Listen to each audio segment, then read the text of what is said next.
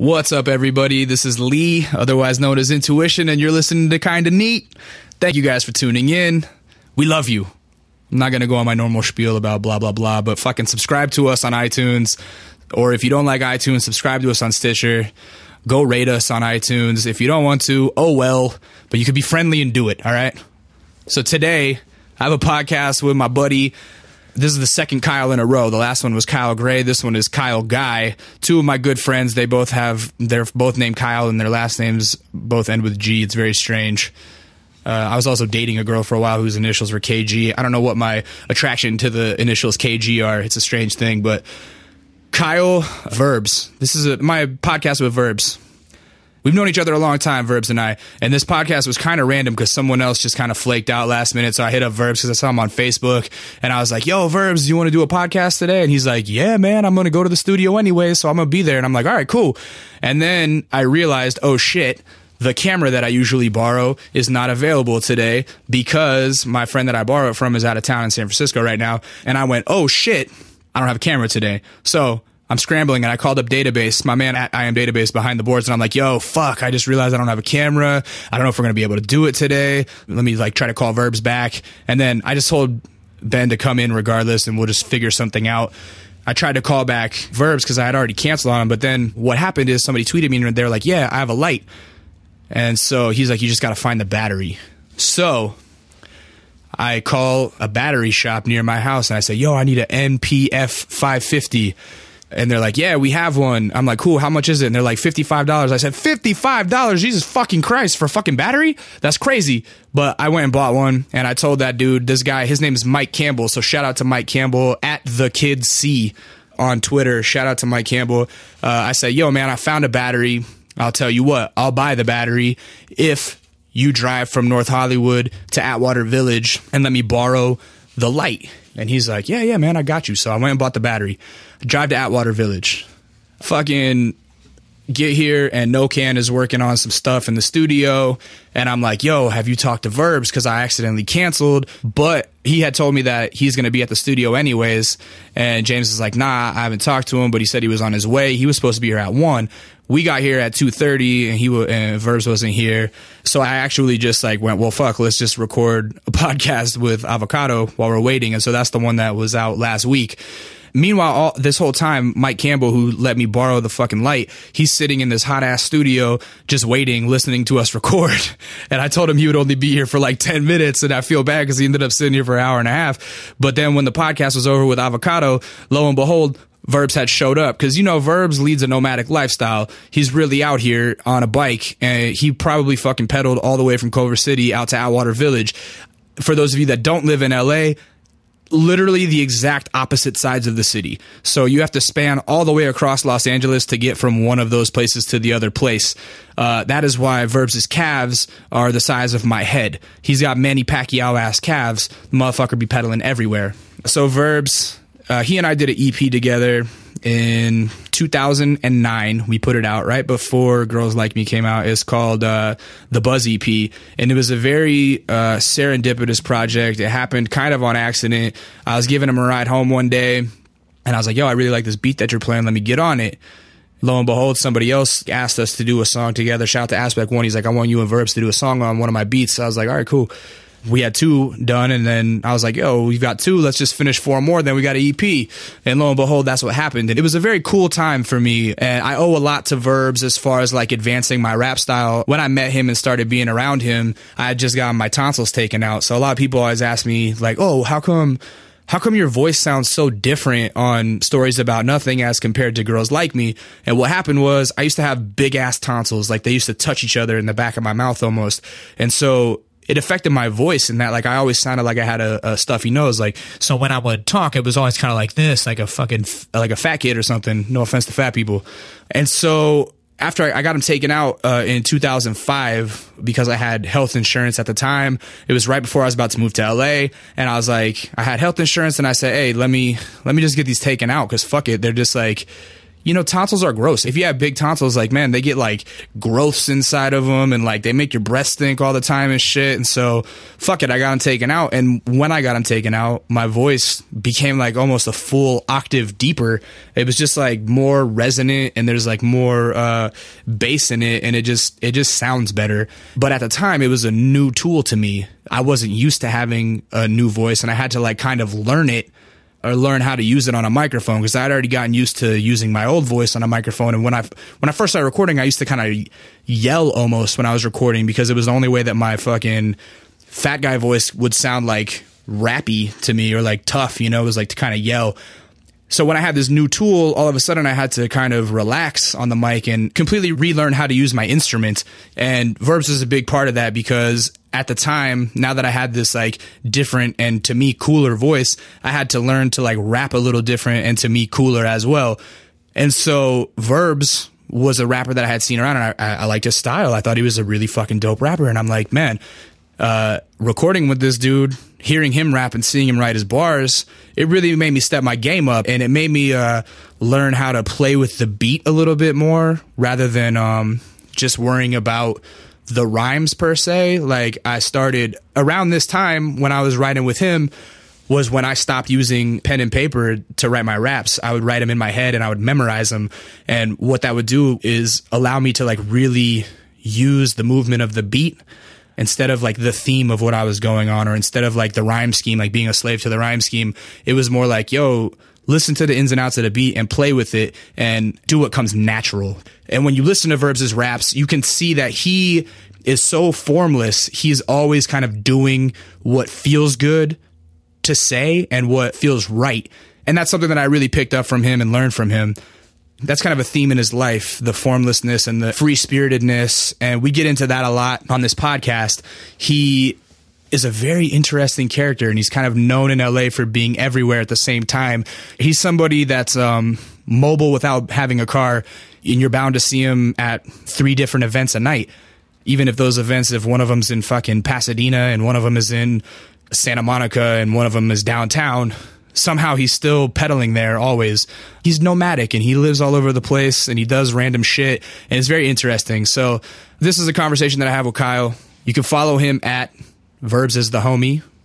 Homie spelled H O M I E. He's an interesting dude, and I think it was a good podcast. I got to know him better than I knew him before. I think you guys will find him just as interesting and charming as I do. I owe a lot to Verbs, and so I'm happy to finally sit down and have a podcast with him. And this is our conversation. I'm kind of neat.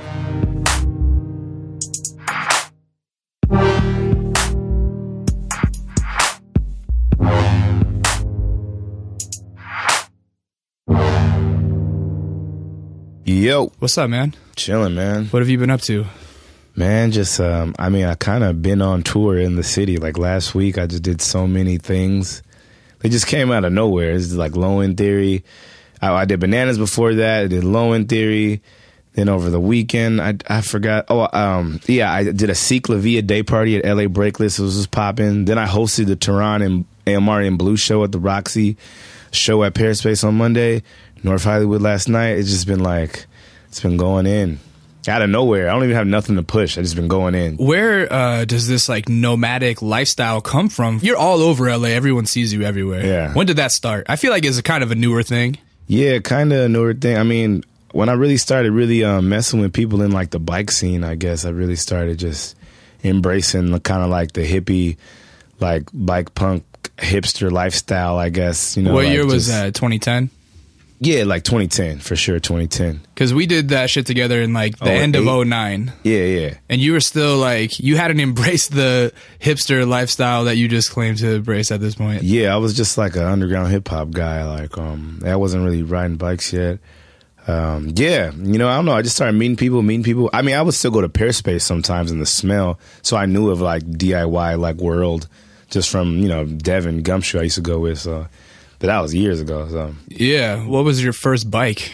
oh man, I got paid doing some like ghost riding with like Cashmere, and uh, I got a yeah, it was a Sub Rosa, BMX Sub Rosa. Cashmere Agency. Yeah, yeah, yeah. Can yeah. you talk about who you ghost wrote for or no? I mean, it was for some music compilation, some like Hans Zimmer thing that was through that dude Ted Chung, Mm. and then they gave me seven hundred dollars for doing seven songs, and I was like, I'm buying a bike, and I went to Orange Twenty, and I bought a BMX Sub Rosa that was like three hundred bucks. Why'd you go with the BMX the first time? Because when I was a kid, I was riding bikes, and I that's the bike I grew up riding.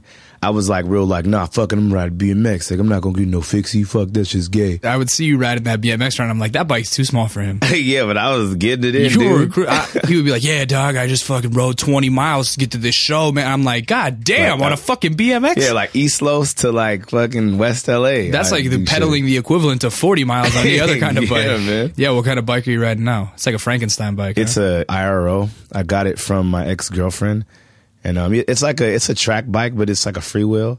But I went through many bikes. You know, I had like a um, what was that?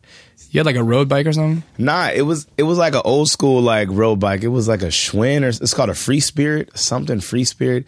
Then somebody gave me a fixie that got stolen. Then I had a tax check last year. I bought this like off-brand Schwinn frame that was like murdered out, and I had like all black parts and like seafoam grips that got stolen. And then I've been riding this IRO for like a little over a year now. Your lifestyle is fucking interesting, to say the least. Like, I feel like uh, every time I see you, you're on some kind of new adventure, and I don't really understand everything that you get into at this point. Like, you're so everywhere. But like, let's go back real early. Like, where are you from? Are you from LA? Yeah, I'm from Culver City, California. Born and bred? well, since I was nine years old, I was born in Hollywood. Who were you born to? Oh, like my parents? Yeah, what were your Oh. parents all about? My mom, her name's Belinda Jackson. She's uh she was born in L.A. She's a half white, half black lady. My dad, he's like a Creole man from Arkansas. His name's Roland. He's played football. He almost got drafted to the Bengals when he was in his heyday. No shit. And um, yeah, he's like a kids counselor. What did he used to play? He used to play um, outside linebacker. So he's a big dude. He was big and fast. Yeah, way bigger than me. I just got his same frame, but he's like two times like me. What was it like being born in Hollywood? It was cool, man. My first friends were little Armenian kids. Oh, so you were living like kind of over uh, by Western or something? I was on Kingsley and, and um, Sunset. Over there in Little Sunset Armenia. Kingsley. Yeah, there was a strip club on the corner called Tulips. There's a Shakey's that was on the corner. I remember watching the LA riots when I was a kid on the roof when I was a baby. what was that like? that was cool. I didn't know what was going on. I just knew shit was going down and there was fires. You must have been what seven? Six. So you didn't have any context of them. Nah, nah. I just knew like we couldn't go outside. Were people scared? people were just we were on the roof just watching. Everybody in the apartment building was wa We had the, all the, the doors locked. We were just watching. Just fires going off, Yeah, it was like a war zone. helicopters. I just remember one fire down the street. It was from this um, it was like Sunset in Normandie. There was a 7-Eleven that got totally burned, Wow. and that shit was crazy. And then did you start elementary school in Hollywood and stuff? Um, me and my mom would bus to West LA to Overland Elementary from Hollywood every day, and then she started sending me on the bus by myself when I was like eight years old. What was she doing? eight nine. She used to go to Santa Monica College. Um, she used to take WordPerfect classes when computers were just hot back then. Yeah. yeah. Um, I used to go to her school sometime. I used to take the bus to her school sometime, and we used to bus home to Hollywood at night. And uh, yeah, I used to roam SMC as a little kid by myself and just play by myself and meet her at the end of her classes. Is that where you think you got your like outgoing tendencies from? Would you just meet strangers? I would just roam by myself, and like I, there was another kid who had a mom who went there. We used to play, but I forgot his name, but I remember him though. Is your mom a creative lady? Um, I don't know, man. She's like a hoarder. I don't know. She b- collects things. And My mom has hoarding tendencies Like, too. I didn't know that. My mom sings. I mean, but like, I mean, she just watches TV all day and like looks at Oprah magazines and stuff. And yeah, it's pretty funny. She steals stuff sometimes. It's really cute, and she gives me things. Like, She steals stuff? Yeah, all the time, dude. It's, it's funny. That's crazy. We have like eighteen fucking Dr. Bronner soaps, and she won't even let me use them. she didn't even buy them. It's just like you know, like this like mad Dr. Bronners. That's that's the good shit, Dude, man. don't snitch on your mom. She don't even know how to use the internet. She ain't never gonna hear this. Keep it real. oh shit! Was your dad still around when you were a kid, or? Oh, nah. Um, they never got married, but I know they had a baby, which was me. And then um, he moved to San Diego and tried to do law school. And um, yeah, it just didn't work out. I think he was just doing girls or stuff or something like Is that. he a part of your life now? Um, yeah, I haven't talked to my father in a minute, man, because I haven't really had a working phone. Last time I seen him, he gave me this iPad, And uh, that's the last time I really talked to him. He'd been trying to contact me. Uh, my phone was like broken. I couldn't see the screen. And every time I call him, he don't answer. And then I don't know, man. It'll it'll happen when it happens. I mean, how's your relationship with him? Is it strange? No, it's not strange. It's cool. It's like you know, I haven't talked to him in a while, so I don't know. He has an iPhone. He, I guess he don't know how to use the internet or something. I'm on the internet everywhere. Does he have like a new family and shit? Nah, man. He's had multiple girlfriends through the years, I believe. You said you don't got no brothers or sisters. Oh, I have a sister that's older than me that he had. okay. Um, yeah, she's like almost forty, probably like thirty-seven. so like a half sister. Yeah, same dad, and my brother, same mom. Yeah. Did your mom ever remarry? Nah, but she's had the same boyfriend since I was five years old. Oh wow. Yeah, this dude named Larry. Does he live with her too? Nah, he used to. Well, he used to just be over all the time, but uh, nah, he don't live with us. What is your living situation like right now? You're like a nomad, huh? Yeah, but um, you know, I try to give my mom a hundred dollars a month for rent, and um, you know, but I be I either hang out at the homie Jerry's house in downtown, sometimes at Church of Fun, and then some my homie Mikey Wally's house, and wherever else I can like crash. But you know, my couches are always the couch at the house. I have a room too to have a computer and stuff and clothes. I try to go home like you know every three to four days and wash. And um, yeah, What's the day to day like right now? I wake up and try to do something productive. I try to like work on music with homies or like record somewhere or like today this was kind of like the goal of the day. And um yeah, just trying to do stuff. And then I always try to make sure I dedicate like 2 to 3 hours of social networking on the internet just to like stay like getting looks. I mean, just stay doing shit, emailing people, Yeah. trying to get future shows. Where do you do that out of like a coffee shop or something? Yeah, Fox Hills Mall lately though. Oh, Fox Hills. Yeah, because I go in there and I spray my favorite colognes on and shit. and then I go get a coffee at the coffee bean. Then I people watch and wave at the pretty hood rats walking around. Hell It- yeah. it's fun. I love that. I just spray my favorite colognes on. Put some oils on my neck. that's fantastic. I'll be sweating, so you know, if I have oils on, I smell better than your average like bicyclist person. Hell yeah. You just said you got recognized the other day at Fox Hills, right? Yeah, like yeah. What happened? This fool was like, "What are you verbs?" I'm like, "Yeah." And he's like, "Oh man, the Buzz EP." like, I'm like, "Oh, for sure." Like, Yeah. and then yeah, I took a picture with him. Was he a Mexican dude? Yeah, I wonder if it was the same kid that recognized me. I I was there um, one day walking around with a friend, and uh, I stopped in a GameStop, and I'm like playing some new fucking video game, uh, one of their display games or whatever. And I'm standing there, and I kind of notice out the corner of my eye, there's this kid like standing outside, like jittery, like look, like like looking at me weird, but like kind of jittery. And once I was done, he came over like real nervous. He's like, hey, uh, "Excuse me, are, are you Intuition?" And I'm like, "Yeah, yeah." And he's like, "Oh my god, dog! Like, oh my god, I love you and verbs. This shit is so hard." And da da da da. Hey, what if it was the same? That's what I'm wondering if it was the same, dude. And he and he like uh, he's like, "Can I take a picture with you?" And uh, we took a picture, and like he was, and like when he shook my hand, he was like hand was shaking, like he was hella nervous. Damn. It was very tight, dude. Like it was very flattering and That very humbling. crazy, man. Yeah, I was stoked on that. I think I met your boy Jackson. You know a dude named Jackson, a little white guy. I feel like I probably know. Took a picture with him too. He said he lives near Palm Cycle near you or something. Oh yeah, yeah. I think I know who you're talking about. He used to live by me um, at the house that we recorded the Buzz EP. There was a whole little group of biker gang kids that lived down there, but they were young. They were like maybe 13 or 14. well, maybe he told me he lived on on Jackson. Jackson. 'cause Yeah, maybe that's what it was. He probably lived on Jackson. yeah, yeah, yeah. There was all yeah. Yeah, remember like when we record, there's always little biker kids there, and then uh, a lot of those kids grew up to be like part of the bike scene now. So Oh, dope, Yeah, yeah. Um, when did you start rapping? I've been wanting to rap since I was nine years old. When you were nine years old, what were you like in school? Uh, I was going to Overland and I was taking the bus home, number three, the Culver City bus. Coming home, listening to Westside Connection and like Busta Rhymes. And um, yeah, I was I would listen to the Westside Connection every day, like front to back, like right when I get home, just listen to it. I eventually I knew all the words. I thought Ice Cube was the best rapper of all time. I was like, I want to be like Ice Cube. Still pretty close to it. yeah. I just yeah, and It's top that's five. That's what um got me into rapping was Ice Cube. Yeah. Yeah, and then um yeah, I was nine. Then when I went on the ha- like Palms, I was still listening to rap. And that's when you moved to Culver City, like when you were nine No, or ten. Yeah, nine. Yeah, yeah, yeah, yeah. Because I was going to the same elementary school. You guys been in that same apartment the whole time? Yeah, That's yeah. crazy. Yeah, mad years. So you're going to Palms Elementary. And, no, no, Palms middle after oh, that. Palms Middle, yeah, and rapping and stuff, or what? um, yeah, I was rapping. At ten? No, no, I, I was trying to rap. I was writing little whack raps. Like I want my my first rap name was K Master. Because my name was Kyle. so- My name was Easy Lee, my first rapper. Easy Lee. Easy Lee. Tight. but like with the E and a Z, not Yeah. not spelled properly. but then not till I got to Hamilton is when I really started rapping. when uh, you were first started rapping, th- tell me if I'm like this is what I used to do. I would take raps that I knew, like I would take um Snoop Dogg rhymes because I love Doggy Style. I had the whole thing memorized, but I would switch my name into his name. Oh yeah, I would do shit like that. Like I remember I remember, would just recite people's raps all the time. yeah, exactly. Like uh, we used to have to do projects in social studies, and one of mine was about pollution, and we'd have to get up in front of the class and give a presentation. So mine was like, I flipped gin and juice to be about pollution. Like with so much pollution in the air we breathe, it's kind of hard being big L double E. But I did you do shit like that? Um, I don't remember. I think so. I did stuff like that. Yeah, I definitely um bit Talib Kweli lines and like uh, freaked them to my own in like a in a history class or something like that. English maybe, something poetry assignments and shit. What were your first raps like? I don't even know, dog. I was a big Eminem fan when I really started rapping.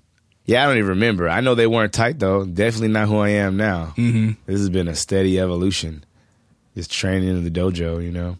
Was there a decision behind going to Hamilton because it's like a performing arts school, right?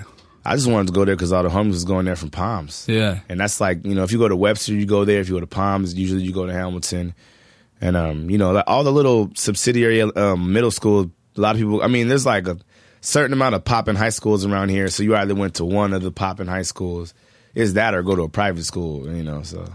Yeah, I went there knowing a lot of people from Palms. I met CP and Van Clayton. Those are like two pivotal people I met in my career because those are dudes who got me to start freestyling. We were known as like the freestylers at Nutrition and Lunch. And my homie Elvis, other dude named Sweet Three.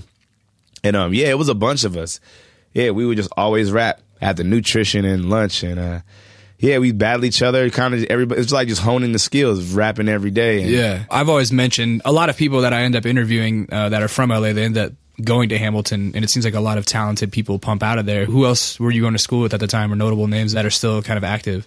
Did you go to school with Raquel? Uh, yeah, she's a year younger than me. I knew all of her homies and stuff. I didn't really know her till after, till we started doing the spliff days. That's when I started knowing who she was.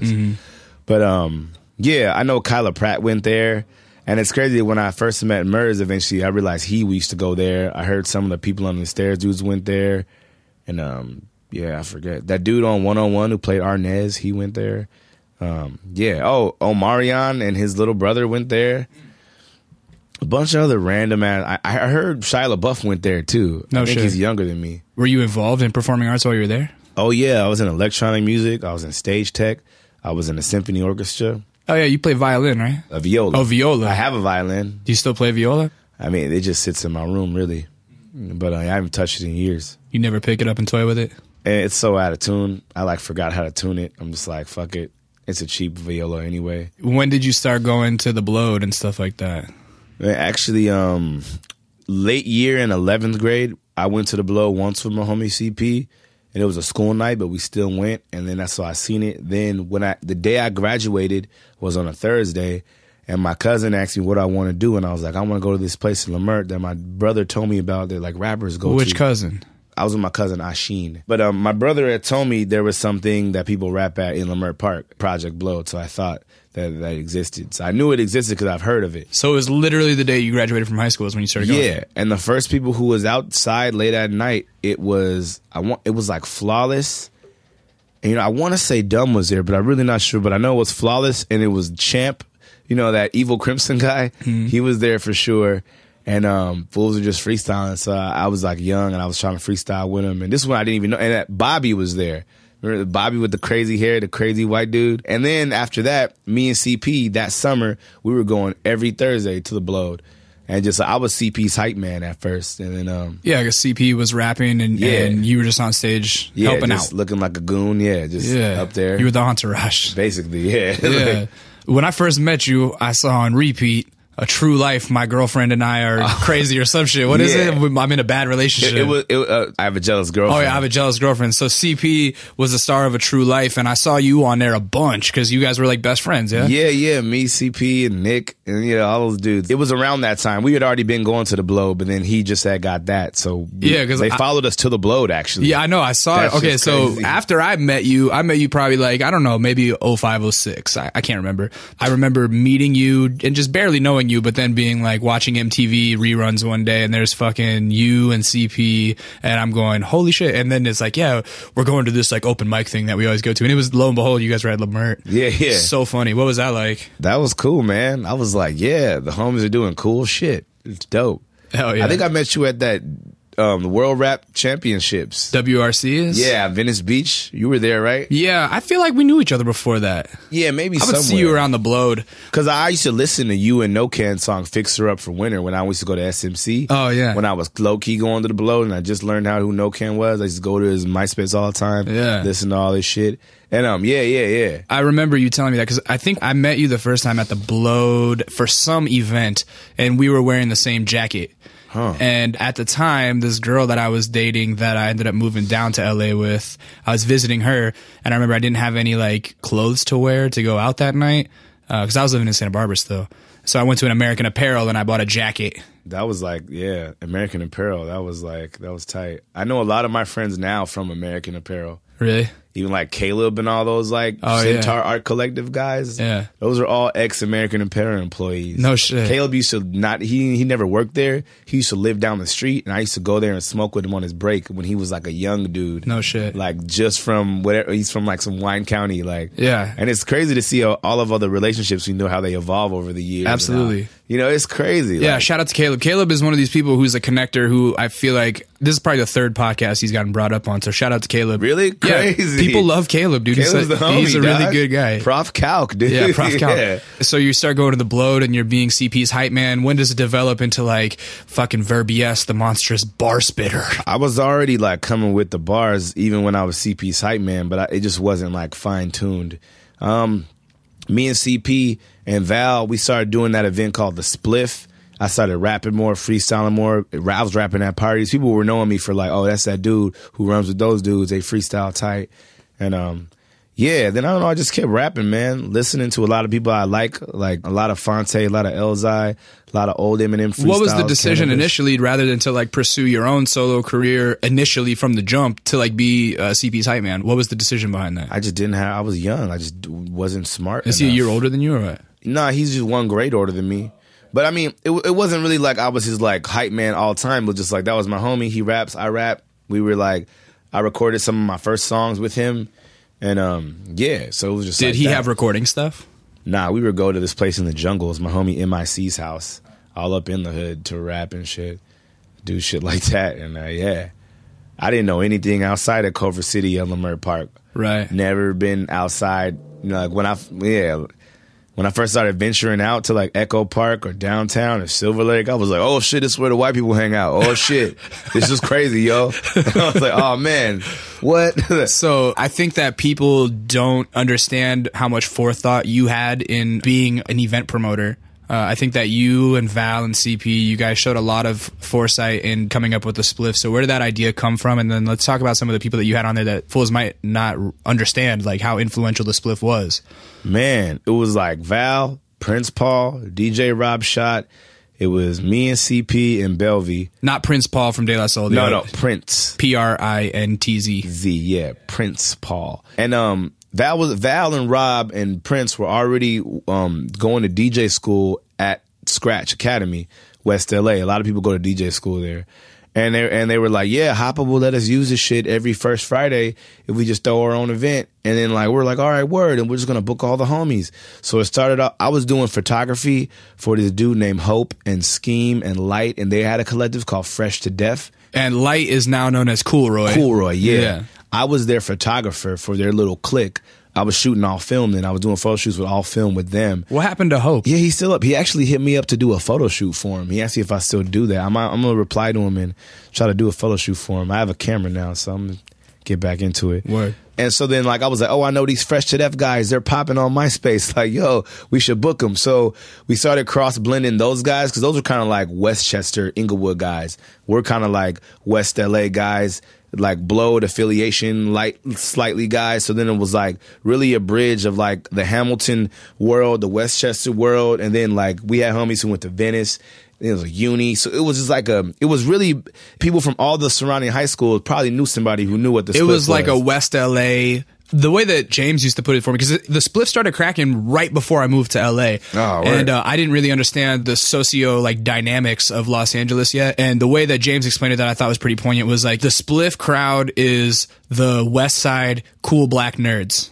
Basically, or people who live in Ladera Heights, the, the friends there too, all that shit. Ladera yeah. Heights, the Black Beverly Hills. Yeah, yeah. So it was like the culmination of so many different, even the Venice like world, like you know, it was the culmination of a bunch of shit. And it was definitely like some early cool kid shit. It was like some alternative cool kid shit. Like not cool kids the group, but like fools that were like way early on Kanye and shit like that. Yeah, yeah, yeah. I was early on Kanye. I, I had the first mixtape. Yeah. Van Clayton put me on that shit. Yeah, Yeah, man. I feel like early on at the spliff, Kanye was probably the most influential rapper too. Big time. Everybody, everybody wanted to be Kanye West. everybody was perform like they all had his body movements posh down. ass black dudes. You know what I mean? Like posh. yeah, motherfuckers was wearing bow ties and shit Like, back you know, then. Yeah, man. Talk about some of the people that you had perform. We had Scheme. We had this group called The Lock that was really dope at the time. Raquel's band played a bunch of times. Um, this band called Ars Potria. Uh, we had Dom Kennedy once. Pac Div never performed, but they came through. You and I played there. And at the time, Pac Div and you and I were like a big deal in Los Angeles. Yeah, that was like- those are the they were two- the, they were the hottest the shit groups, yeah, yeah. that They was were like- they were next up in L.A. Yeah, man. Um, who else played there? A bunch of people. Oh, and also there was that thing called the Pit that was before the Spliff. So we used to book acts from the Pit at the Spliff too, and that was like late Lady G rapped there once. Uh, you know that dude Daylight who run on to be a dope battle rapper. The Pit was an early breeding ground for smack style battle MCs Yeah, in LA. so West like Coast. Disaster came from That's there. where he came up. Daylight came from there. they mean- were all in a crew together. yeah, Watt City, and really on some really throwback throwback shit. I even mentioned this, Wasn't it? What did they call themselves? Crack City. Crack City. That's Yeah, what I meant to yeah, say. yeah. But I was going to battles with Chinky Eye Fridays, and that's where I really met Disaster. Was at Zen Sushi in Silver Lake for that thing called Bridges. Okay. And Trek Life was hosting, and I battled Disaster for the first time then, and I've known him ever since, and battled him a bunch of times. Of course, I never won, but I have battled him a bunch of times, and that's just crazy. Didn't YG play the spliff? No, he didn't, but Ty and Corey were the writer group that wrote that song.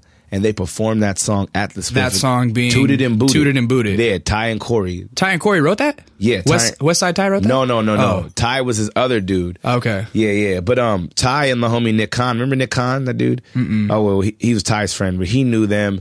And um, yeah, they actually wrote that song, sold it to YG. Who was Corey? Corey was a dude. He makes beats and stuff. He, Okay. the Ty Dolla Sign, and it was Corey something. But they used to know all these like cool quasi hood music guys, and Like, isn't the story go like they played Toot It and Boot It at the spliff? yeah, way And- before. And everybody was kind of like, whatever. It was like a cigarette. Like I remember Steph saying that it was like a cigarette break when it when they played. remember? yeah, yeah, yeah. And then like two years later, that song blew the fuck up. Shit's crazy. Oh, another person who played this spliff honorable mention to 310. He like manages overdose now and does videos and he shot shit for, for Dom Kennedy. But C San, that he was like a popping guy back then. Man, there was so many people. What dude. happened to the spliff? Um, man, what happened? Man, it was just, you know, the mega turn up. It was just getting too popping. Like, fools were just doing all sorts of illegal shit in there, smoking and drinking. And then Hopper wanted to start charging us like money to do it. Because it was always a free was- event. Yeah, then we started charging five. And but then it was like a fallout between Val and Hopper, which is why it really stopped. Because I remember you guys tried to do it at On the Rocks a couple times, and that wasn't Yeah, really it, happening. it was cool. I mean, it happened. Yeah. Oh, low key, when we did it at on the rocks, we had Cooley High there. The last time we ever did a spliff, and Cooley High was like Rapsody, Charlie Smarts, and um, Tab, and those are those dudes who fuck with 9th Wonder, and Rapsody is like a popping girl in the East Coast. But they came out to my event, 2010, at the like the last one we ever did. Huh. Little history. Damn, my roots are deep in this bitch. I'm tripping out, That's bro. what I'm saying. I, I don't. I don't think you even realize like jam. you're a major spoon that stirs the pot in the scene, and I don't think a lot of people know that. But like when people say Verbs is the homie, Verbs really is the motherfucking homie that like everyone recognizes you. That's crazy, man. I've been And so around. after the spliff, you started bananas. How long after was that? Oh, bananas. So like I started bananas while doing the spliff, but I didn't start bananas. My girlfriend at the time, she was this like indie black girl named Gumshoe. Her real name is Devin, but she's the one who introduced me to the smell and Pehrspace and all these type of like DIY parties. And um, so I would go to those places with her, and I was like, "Well, this is some weird shit. I don't even know how to connect to these people." And then um, she was like, I want to book something where like you book some rappers and I book some of my friends' bands and da da. da. And then so that's how it really started. I mean, Speak was one of the first people to play that. Open Mic was one of the first. We had a band called Big Whoop. So many wizards, mega like hipstered out the game. I game. played with the early bananas. Don't sleep on your yeah, boy. we did. Yeah, yeah, yeah, yeah. Come on yeah, now. Yeah. And then you know, me and her I played the spliff two times as well. Yeah, I don't know if oh, you remember that. No, yeah, I do remember Yeah. that. That's crazy. No, yeah. So uh, and then um, me and her broke up, and um, I continued to do bananas, and the spliff ended. So it was like, fuck, I got all these people I know. So I just started booking all the bananas, making my flyers, and um, yeah, just kept the momentum rolling. And and now uh, you do them what every which Tuesday? every third Tuesday, Every third Tuesday Yeah, of the month. Yeah. And it's at where Project Blowed used to take place. yeah, KAOS Network. KAOS Network.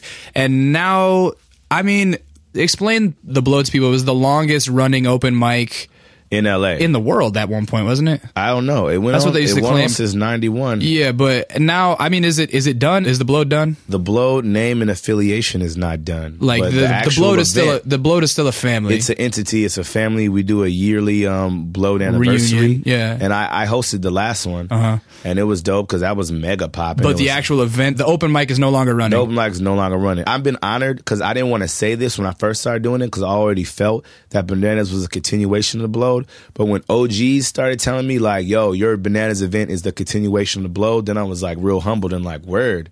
And I think it's a modernized version because it is a place where people can come to hone their skills, but it's like people across the city aren't just into rap music no more. Like it really shows that the younger generation has a wide variance of tastes and preferences because you can't have this crazy indie rock band or a metal band playing with like super barred out rappers in the same show and everybody has a good time. Yeah, man. Because like, I mean, especially when I feel like when like NERD started being popular to the young kids, and like this alternative kind of sense of blackness started being like repped in like the inner city. I felt like that added to the appeal. So everybody's like, "Oh, this is like." I mean, one of my like one of my homegirls is like, "That's just a douchey ass black hipster hangout." Like she was like hated on it, like wait, and I was like, "Whatever, nigga, it's tight." like, hey, you came, Like, so what does that make you, bitch? Get the fuck out of here, Like, like, you know. Yeah. But um, yeah, that's basically how it happened. I mean, low key, Rob and Belvy just stepped down this last banana, so I don't have a sound system. So Why did they step down? you know, we've been doing it for so long. There was a time. How long has it been going on now? Six years? Five years? Like four or five years. yeah. 2010 ish. And it's something crazy. I mean, to really give you uh, your props, like Leimert was starting to be someplace where people weren't going that much anymore. It seemed like once the Blowed started slowing down, and I think now you've really made at least once a month there. It's like a very vibrant fucking part of town. Yeah. Like there's a lot of people that show up there. It went from I remember going to the first couple bananas and like maybe 30 people would show up. Yeah. and now I've seen as many as like 300 people there or Yeah, something. it'd be ridiculous. I was like, I can't believe we don't get shut down sometimes. yeah, like this there's is so the whole illegal. street will just be full of people. Yeah, yeah. And then I helped do the Leimert Park Art Walk too, and that's Yeah, kinda, that's another thing that you started, right? Yeah, cause with help, because Ben Caldwell was like, I want you to do your bananas vibe, but at the you know Sundays. Tell people who Ben Caldwell is. Ben Caldwell is like the Yoda of all artsy black men in LA. he's like the OG. He he used to teach at um Cal Arts. Uh-huh. And um he's a dude who owns KAOS Network and before there was the blow, there was this thing called Juju and then there was something else that happened there, but he, his space has always been open for people to do creative shit in Leimert Park, and he's he's involved with various programs in USC and UC. He used to go to UCLA. He was a Vietnam veteran, but he's the real reason why a lot of this like underground rap shit goes down in LA. And so, out of everybody that was involved with the Blowed from your generation of the Blowed, which is like a half generation younger than like No Cans and Kales, Yeah. like you guys were the little homies to them, kind of. Yeah, yeah, yeah. Why, out of everybody from that little generation, that's like you, Dom, Lyra, Sat, who else? Alpha Boss. Alpha. What do you think Ben saw in you to like kind of bring you into that fold? Man, you know, it was really Devin going up to Ben and asking him. Because Devin used to come to the blow with like Marina, you know, the homegirl Marina or Milu, the, the suicide Oh girl yeah? Mil- Milu Suicide. She used to come to the blow as when she was 16 and she used to ride bikes too on some random shit because she knows homie George and you know, and then, um, yeah. And, and my homegirl Erin, like, so then like Devin just goes up to Ben and like, yo, yeah, I want to start throwing my events. And, You know, Ben's all about that. So then like, boom, that's how that happened. And then so then I was I was already like affiliated with Devin and stuff. So you know Ben and Ben already knew me from back in the day because I used to go with Kiana and he knows her and take pictures and all this. And yeah, and I don't know. He j- really he says I always just show up. He's like verbs, you know. Out of all these people, you always just show up. Like he's always like you show up all the time, and that's what I respect about you because you always show up. So I'm just like, yeah, just consistency, man. Showing up is like half of winning a lot yeah, of the time. I feel like anybody could have done what I've done right now, but I just, you know, I just did it. It could have been anybody. I just, you know, it just kind of fell in my hand, and I kind of just said, "Fuck it, I ain't got nothing else popping. I'm gonna do this." How do you find the motivation to keep doing it after four years? And sometimes I want to give up. Honestly, Yeah. I, want to pass it over to some younger people. But if I realize if if I stop, nobody else will do it, and then I'll be the dude who just dropped the ball and never did it, and then that'll look worse. Yeah. I'd rather keep doing it and have it become whack with me keep doing it than me just stop out of nowhere and being like, "Oh, you should have kept doing it. What the hell?" After the spliff kind of fizzled off and then bananas got really cracking, do you ever feel like, oh, maybe it's time to switch it up and try something else? Yeah, man. I, eventually, I want to do like a festival, maybe Yeah. a once a year festival in that back parking lot, Oh, or yeah. a la some paid dues vibe. Yeah. And um, yeah, I want to call it Homie Fest. It's a been it's been an idea in my brain for a minute, but I want to start doing a yearly Homie Fest. That sounds and having it be like you know like paid dues, but in L.A. Yeah. And with like you know people who maybe be who might be off of that like pop and rap radar. you Right, know? right. Give some shine to some local. The left field. Yeah. Speaking of paid dues, how did you meet Murs? Dude, uh, my homegirl Stephanie. So it was one year Murs had a free show at the El Rey. We're all in line. It was me, 310. It was Paul. It was Stephanie. It was, uh, I want to say it was her boyfriend at the time, El Rey, who was there too. Anyway, we were all in line. And uh, you were with El Rey at the El Rey? yeah, yeah, yeah, yeah. That's like random. She used to go with the, my DJ way back in the Oh, day. okay. And um, yeah, she met Murs. I think Stephanie knew somebody who knew Murs, and her her her like AM name was High Five for Jesus. Murs had a line in the song where he said High Five for Jesus. So like he, met Stephanie, they became friends. She brought Murs to the spliff because Stephanie just a great connector like that. And then um, she's like, meet my friend Kyle. He raps really cool. I showed him my CD, my handmade CD, and it just kind of blew his mind. He was like, "Whoa, shit, this is genius! Like what?" Da da da da. And um, yeah, man. Um, I seen him at the do over one day, and they didn't let Murs in. He was like, "Fuck this, I'm not going in." And I was like, "Yo, you want to work on a track sometime?" I was all nervous to ask him, like, "Yo," and he was like, "Yeah, man, take my number." So like, I hit him up on MySpace, and then he said he would be down to work on a track, like on MySpace. And then he came to my homie's house, and we did a song uh, at the homie Starion's house. And then, you know, months go by, I did that track, whatever. And then um, I get evicted, and then he like asked me if I wanted to go on tour. So it all like worked out perfectly. Yeah. got evicted. That song that you guys did together is still one of my favorites of yours. I used to always make you play it when we do live shows together. Now I'm free. yeah, now I'm free. That song's great, dude. Yeah. And so you you and Murs like became really good buddies. Yeah, yeah, man. Um, I, I I used to hit him up for like advice from time to time, and um, yeah, he took me on tour. I really showed me showed me how like the touring rapper life is, and like the the logistics of stuff, and how much stuff costs, like tour bus and all that, and the importance of having merch and. And then you know, really just how to rap better too, because my rap sets were hella whack when I was rapping with Murs. Like, but I was a hype man, so even being a hype man made me a better performer. Because just seeing how he would do, and then having to like keep up with his energy, and um, Yeah, Murs is a really good performer. Yeah, so that that's a big reason. Speak and Murs and No Can are a big reason my rap sets sound how they sound. Because when I used to watch Speak, he had kind of this DIY punk rock aesthetic about his whole approach to the shit. And then No Can kind of had this voice thing. And then Murs kind of had a little bit of some of the things, but just more so just organization of the set. And that's what I really attribute to me even doing the things I do on stage. And um, that shit is crazy, man. And yeah, man, I toured Murs a couple times, and he put me on one of the earlier paid dues, and that shit was hella fun. The first song that we ever did together um, was Touch the Moon? Touch the Moon. Yeah, we did that at that paid dues. and it was shit? we did that right before you went on tour with Murs. I think if I remember correctly, basically I had just moved to LA. I would see you everywhere. We started mm. getting along because like whatever, we were always wearing the same clothes and shit. City, too. You Yeah, you hooked me up one time at American Apparel and gave me some like hella cheap gear. oh tight. Yeah, back in the Santa Monica one. yeah, man. Yeah, and then I just I realized that you lived like literally three blocks down the street from me. Yeah, so yeah. I ended up always giving you rides home. You'd be playing me new beats, and then one of them I was like, "Yo, I like this beat. You should let me rap on it." And you're like, "All right, cool."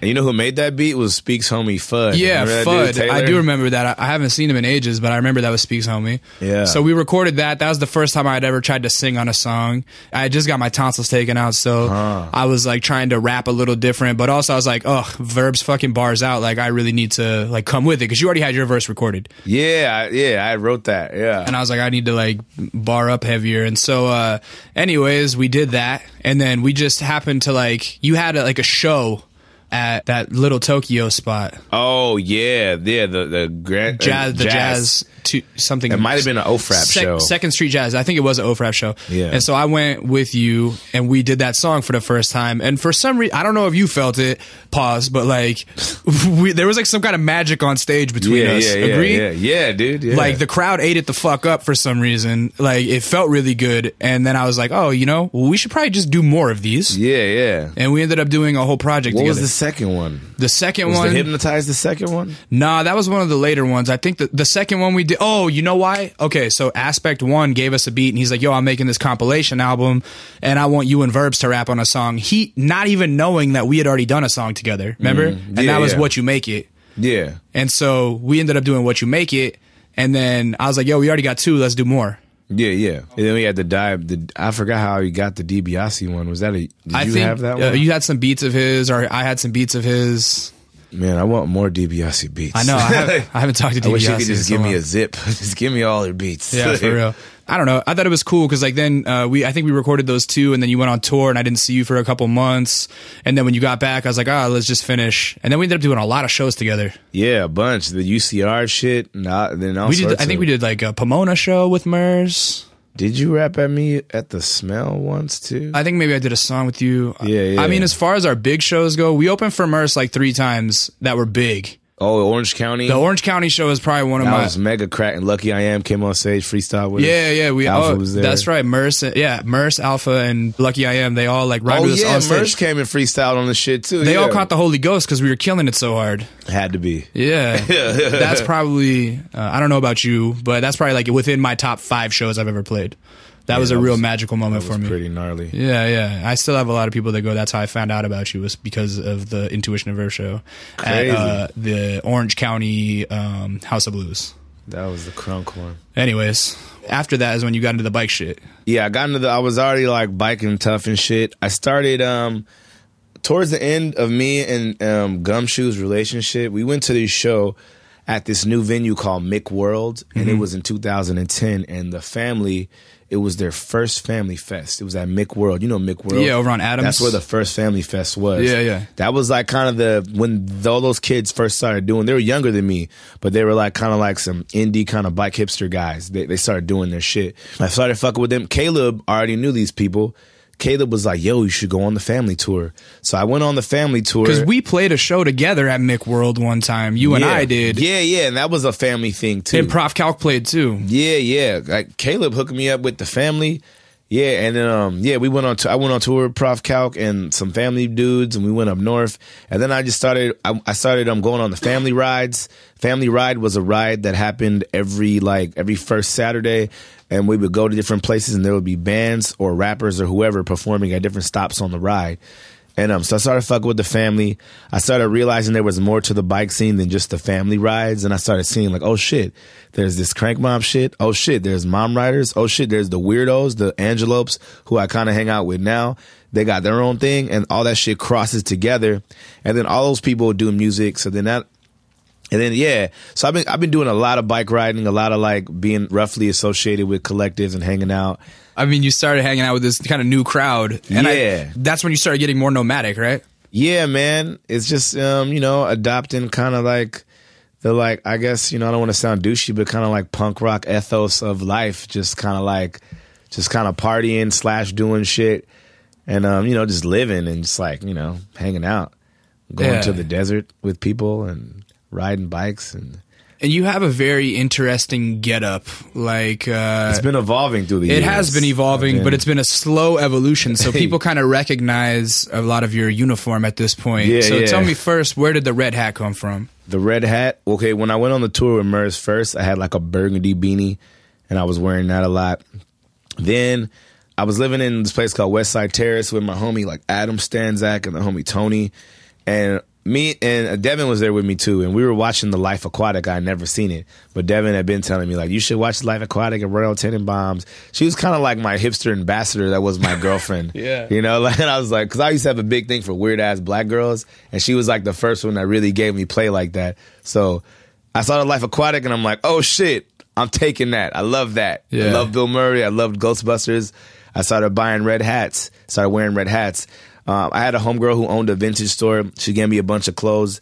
This vest was in was in that bag, and I started wearing the vest. First, I was just wearing. Is that the original vest? it's the OG vest? Yeah. How'd you get it back? I thought you lost it. No, I lost. Yeah, I lost it on tour with Murs once in Portland, Maine. I was I was kissing this white girl who was really drunk, and she got too drunk, started throwing up. I I I lost it for like nine months. It was gone for nine months. I was wearing other vests Wait, so what year did you start wearing the vest? in like 2009, Okay. And it used to have other. I remember when you first started, I was like, man, Verbs is fucking on one. He's wearing like I don't know if you guys have seen the vest. You'll see it in the video, but it's like a, a old like Vietnam looking ass fisherman vest kind of. It's like a half fisherman, half Yo, photo vest. I just started adopting this thing. I just, I'm stopping. I'm not gonna wash it anymore. All right. I just been adopting it. I, gonna- I kind of figured you had never washed Nah, it. I, I used to watch it like every six months. I mean, every, every six like weeks. Yeah. But now I just fully just stop. I just spray it with cologne every day when I go to the mall. to Fox Hills. yeah, Fox Hills Mall, Clinique Happy, oils. or I, I wear Clinique Happy. I wear this Carol's Daughter oil called Ecstasy, and I also I spray Gucci perfume called um, it's called Glamorous Magnolia. so I- now if I you want to smell that. like Verbs, you know You how. gotta you gotta mix them, and then like you know. You know, I, yeah, I mix perfume and cologne and some oils. And wow, that's the whole. That's me. And cocoa butter too is the under under base. Oh my god. But yeah, you know, when you sweat as much as me, you got to make sure you're smelling good, man. I, I could be feel sweaty as, as fuck. I still smell better than than half these people. You know what I mean? I feel you. Um, all right, so you ha- you got the vest. When was the moment that you decided like this vest is gonna be my uniform? I liked it a lot, and then I started. Um, when I first got my first pins, I went to the Smell one day for a show, and some band was giving out a pin. I think it was So Many Wizards. My first pin was a So Many Wizards pin. I never even told those guys that, but I used to wear that, and then um, I would go places and get more pins and accumulate, and then eventually it was just like I, it just you know- Covered in pins. Yeah, and the vest actually broke once. Like it's kind of breaking now On, on the shoulder. I yeah, see it. yeah. I paid sixty bucks to get it repaired once, and then now I'm gonna get it repaired eventually again. And um, yeah, man, I just be collecting pins. And so you went on tour with Murs and you had the vest, and I remember you coming back and being fucking heartbroken, like, "Yo, Lee, dog, I lost my vest." Yeah, I lost the vest in Portland, Maine. Keep telling that story because you got cut So, off like, halfway through. So I'm in Portland, Maine, and I see this like big titty, little cute, like Topanga looking white girl smiling at me and shit. And uh, you know, we go outside, smoke a cigarette, and like, she just flirting with me. She's buying me a drink. I'm like, for sure. I'm dancing with her in the middle of the dance floor. I'm getting her number. Murs is like in the middle of one of his songs. Is like, stop getting numbers on my show, verbs. like, like just calls me out, and then like Puts um, you on blast. And then he does a song that I wrote for him. He was like, Verbs wrote this song, so you should have sex with him. And he's and then so he he does this shit. And then so like Murs is like, you coming back to the hotel? I'm like, nah, I'm gonna try to like, you know, I'm trying to, you know, it's one of my last days of tour. I'm trying to live it up. He's like, all right, all right, just get, you know, just get back safe. So whatever. It was raining in Portland, Maine, it's the other side of the country. I get there, we're like kissing and stuff. She's just like, oh, I'm just, I'm just like too drunk. So then she starts throwing up in the toilet. I'm like helping her. I call, I wake up her friend and be like, yo, your friend's throwing up. Like it's like, you know, you hear what a fucking sweetheart Like- Verbs is, ladies? He will hold your hair back Like, you and know. not get inappropriate. He'll wake up your friend to let you know. You I'm- know, yeah, she she's too like, drunk. please get my friend. I'm like, oh, totally. You know, I'm like, fuck, I'm definitely not fucking tonight. Whatever. I really wanted to. The titties were so big. Oh my god. But like, so I'm tucking her in, right? And I'm like, I'm about to just call a cab. I was balling at the time because I had that tour money of selling CDs. So I was like, I'm about to just call a cab, go home. And I was like, well, can I at least like touch and see one of your titties? And she was like, no. And I was like, I'm sorry, I'm sorry. So that that's how that went. Can I and then, um, touch one of your titties? so I get in the car and I realize I'm in the taxi cab and it's raining. I'm like, fuck. Like I left this shit. I'm like, At her crib, yeah. So I hit her up on Facebook and asked her to send it to me, and it took her nine months to do it. but you got it back. Yeah, yeah. And she sent me. A, she wrote a little dope note in it. You know what I'm saying? Did Said she ever send you the titties via text message? No.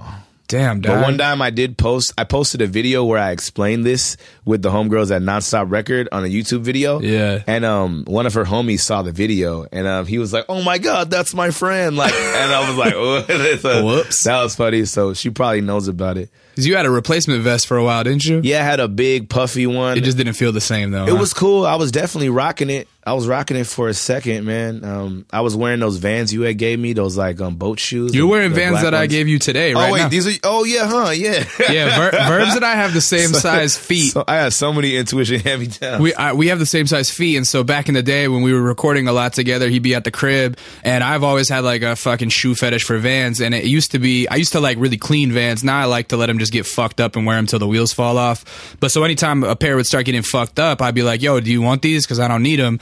And so I don't. Those look cleaner now than when I gave them to you. I don't know how. I just recently washed them. Oh, they they, look- got this oil stain yeah. from my chain. No, those don't mean, look bad, man. About it. So tell me about your fucking crazy lifestyle right now, because I know sometimes like you just be, yeah, like out in the desert in sweat tents and shit. Yeah, I- went to the oh man, the sweat tent thing, that was through this website, feedbands.com. That was a whole nother world of hippie white people I've never met. They paid me to come out there. My little homie Jerry came with me, and he's like this singer guy I met from Pennsylvania. That I'll get into that later. That's like a whole nother realm. Please. Uh, we went up there. I performed. I was like on Molly. I was on shrooms. I was rapping. I had my face painted. I was wearing a dashiki. Uh, I was. You eating- love was- your face I, I, I was. I, I love that. I don't know, man. I, I was um eating vegan food and shit. Girls were walking around with titties out. Um, we were there. We were almost supposed to be there for one day. We stayed for four days. Wow. Yeah, we, we Where was it? It was in Santa Cruz at this Oh. place called the Kale House. Uh-huh. And um, my homie Graham. I mean, it's, it seems like this guy Graham was like having sex with everybody or something. He was like the, the cult leader of this shit. Yeah. Some like the skinny dude who had hella tats on his back and a beard, like some like brother, like you know, like hugging, like you know. Yeah. And um, yeah, man, it was dope. And then I got into, we did a Native American sweat lodge ritual at the end. Everybody got naked, got in the tent, and we just talked about our feelings and we sang together. And then when we got out, What kind of hugs were you giving? we all hugged each other. But like, you told me a specific kind of hug. Oh, I, I, I was, I was the dudes. I was hugging like just like the top half, but the ladies, I was just giving the full sweaty. Everybody was. But you told me that Just- some girl goes, "Nah, give me a chakra hug." Oh, the chakra hug. Yeah, that's when you gotta throw your arm over the shoulder, and it's like, Yeah. you know, it's like you know, you're connected like that. yeah, But that chakra hug. I use that now. I'm like, nah, girl, give me a chakra hug. I guess, I guess it's something to do with touching the heart chakras together. Yeah, nah, but I love when Verbs comes back from a wild adventure because he's always just like, "Yeah, dog, you should have seen the titties." So many pink areoluses, bro. They're everywhere, all shapes and sizes. yeah, you love white girl titties, huh? I mean, I love all girl titties, but I see more white girl titties now than I see black girl titties. White girls be down to show titties more often. Let's keep it real. you know, I don't know what it is. It's a cultural difference. I don't know, but Wait, so what was the story you're gonna get into about your homeboy Jerry? Oh, Jerry's from Pennsylvania, and he knows me because I used to collab with this band from Orange County named I Alaska Tough. He knows me from being a fan of them. I meet him through my homie Mikey Wally, who's like a bike rider guy, and he's like, "Yo, you should meet Jerry." I met Jerry. Jerry knows all these New Jersey rapper cats, and a couple of them came out here and chilled with me and Jerry for a while, and we did a couple songs. And Jerry's trying to do some like East Coast West Coast super group thing. He's trying to be the Rick Rubin of this shit. But yeah, it's Jersey Clan, my homie Elite, my homie the OGM, his dude named Edie. Uh, and and we got homie from the Bay, Chaz Caliber. But that's like the new people I hang out with. Was like he left. Jerry's in New Jersey right now, but Jerry's dope, and um, that's how I've been doing like this Sprite commercial and like chilling in the studio with like Stunnaman and this dude named Yeti Beats who used to work with like NASA. Tell me about the Sprite commercial.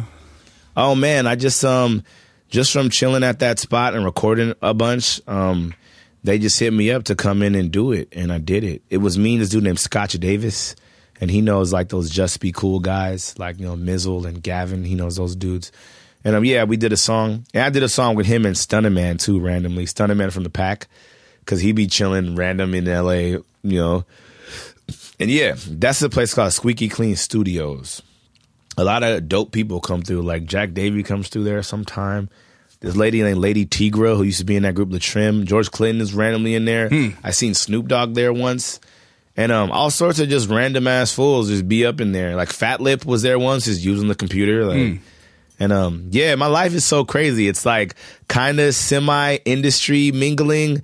Like and then it's like bike hippie, bike punk hipster shit. Then I still do the Leimert Park Art Walk, and then I still go to underground hip hop events. Your life is crazy, and most times nowadays I don't really understand it as much. I don't have a grasp on what you're doing as much, and you're Yeah, hard to get a hold of. I, Yeah. It's like always either through Twitter or Facebook. There's no phone right now. Yeah. But like we actually tried to sit down for a little bit and do like a buzz part two. For some reason, I, I'm very.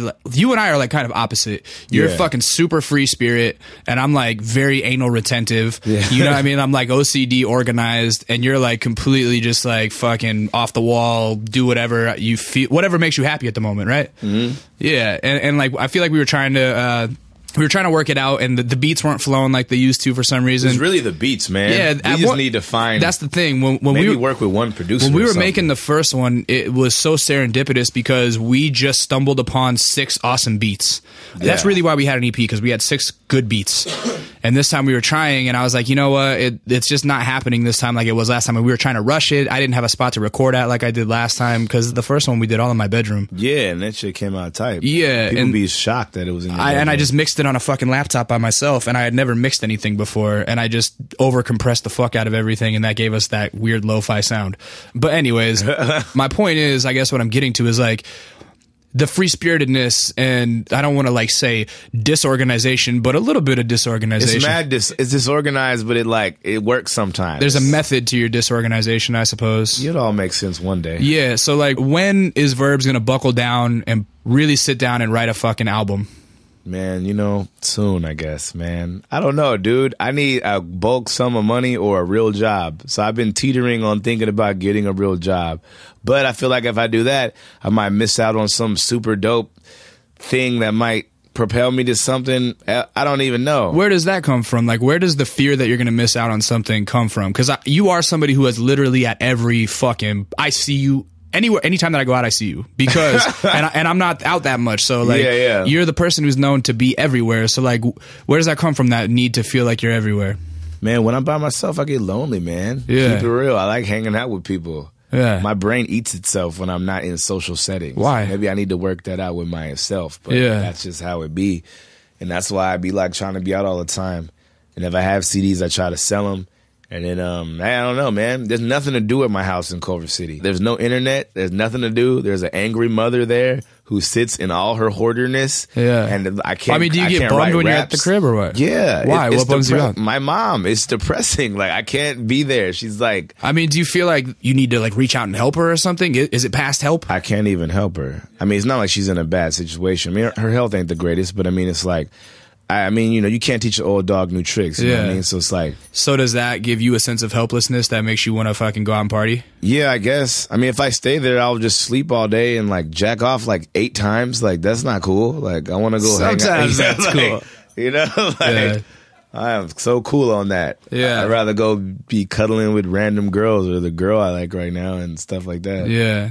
What is it going to take to get you to I want to see you win and like I know that you're out here winning small battles every day but I want to see you win a big ass battle and I think the way to do that is like sit down and organize everything, you know? Yeah, yeah, yeah, yeah. I got some to do lists in a note on my iPad. Mm-hmm. I was trying to get visuals knocked out for like so a lot of new songs that I've done, and even some old songs. Even go back and just do a video for some old shit. Yeah. and just start pumping shit on a YouTube channel with a strategy and shit. I, I feel like I'm I'm I'm a pawn in a lot of people's chess game. I feel, and I'm not the master of my own chess. game. Explain that. I feel like, you know, I have a homie named Jerry who's trying to do all this shit. He introduced me to those people at that baller studio. I feel like I'm just a piece in his chess game. And then um, in, in the family, I feel like I'm like a, a small component of like kind of like hip hop liaison guy. I feel like I'm in that chess game. Then in this bike scene shit, I feel like I'm a token rapper slash token black guy in their like chess game. Are the black people few and far between in that? It's few. There's a bunch of us though. There's even like all black rides too. But it, but I mean anybody can go to the rides. But there's like some black crews. But for the most part, the real poppin' inner circle of the bike scene shit, it's real. It's um you know it's few and far between. But Yeah. the people who are in it are pretty like dope. It's an open-minded scene. I used to be It's involved mad- as well. Yeah, yeah. That's how I even you know really know about it is from you. Yeah, So I was going on. crazy, I was man. going on rides, and right when I was kind of getting out of rides is when you really started going Yeah, yeah, hard yeah. at them. You yeah, know, yeah. A lot of those fools I know through like the Ephraim, L.A. Breaklist, yeah, all that George and Ephraim. you. Yeah, shout outs to George and Ephraim. We actually threw some shows at LA Breakless back in the day. Those were hella popping. My party on Sunday was dope too. Yeah, that shit sick. Um, to hear that you feel like a, a, a pawn in a chess game, how do you take control of that? It'll figure it out. I mean, my life thing, I'm just like, you know what? It's gonna work out, and I just have this faith, and shit's been working out. Like when I went to San Francisco, I didn't have no way to get home. It shit worked out. Had places to stay. Even people I met, I stayed with them. I got home. When I don't have sound systems for bananas, I just be like, it's gonna work out. It works out. I mean, I read the knowledge itself. I believe in five percent knowledge to an extent, and I believe that I believe I can manifest my fucking destiny. Yeah. And um, you know, I'm reading this new book called How to Hustle and Win, Part One. Yeah. And it's like it's just some like you know, there's certain things I need to apply to my own life, like you know, like um execution and shit like that and just put taking the steps to accomplish what you want to do so i need to start Absolutely. I think that you are. Uh, here's what I will say. One thing about when you and I worked together, you were the amazing starter, and I was the finisher. Do you know what I mean? Mm-hmm. On all six of those songs, pretty much, you had either the first bar that like sparked the idea, or you had some random kind of like something that like that made us go, oh wait, that could be what the song is about. Yeah. And then it was like, all right, cool. Well, here's how I would have to step in and structure it. I think I had to teach you how to count bars at the time. yeah yeah Because you were just like rap until the beat changed. Like, I'm like, whatever. And I'm like, nah, you need a couple more bars. Till I'm done talking. Yeah. you- and so I want to tell you that I think you are one of the most talented people that I know. And I mean that realistically. Like, I oh, you're Oh, thanks, one of the best rappers I know for real. Like, your bars are always crazy. And like, yeah, I, I want to see you finish something and I want you, I want to see you fucking put out yeah, a full man. project. i'm trying And to be at the grammy stunting Absolutely. and I think you could. I think you could. So, uh, my thing is like we haven't really talked that much in the last couple of years. Like you've Mm. been running around so much, and like when I see you, I see you. But you know, like we used to get together and talk. Yeah, you know? yeah, yeah, And yeah, so yeah. I know I haven't been there that much, but anything you need help with, man, I would love to help manifest your fucking Word. destiny because you are very talented. So looking, uh. Yeah, most definitely. Uh, anyhow, I think that's gonna that an hour? That's been an hour. damn I'm sorry that I ended it on preaching at you. don't even trip should i get some shout outs Yeah, shout out whoever. Tell the people where to find you. Yo, verbs.bandcamp.com, enough said ep.bandcamp.com, soundcloud.com backslash verbs is the homie, the vagabonddon.tumblr.com, facebook.com backslash verbs is the homie music, myspace.com backslash verbs is the homie music. I just made one. Uh, yeah, I even did some interview for MySpace. Easiest way to find this dude is Twitter. at verbs is the, homie. homie. Homie is H O M I E. And um, shouts out to the family. Shouts out to the Angelopes. Shouts out to Hellfire Club. Shouts out to the swim team. Shouts out to Project Blowed, West LA, uh, Committee of the Grizzly, a homie Bless Escrow, Leimert Park, and everybody who supports me, Culver City, all the people who live in that area, Mar Vista Garden projects, people who live down Slauson. Liquid Cons Clothing, shouts out to those guys, those are Culver City cats. And um, King's Cafe, shouts out to the homie Omar. If he ever listens to this, I shouted you out. And um, hell yeah.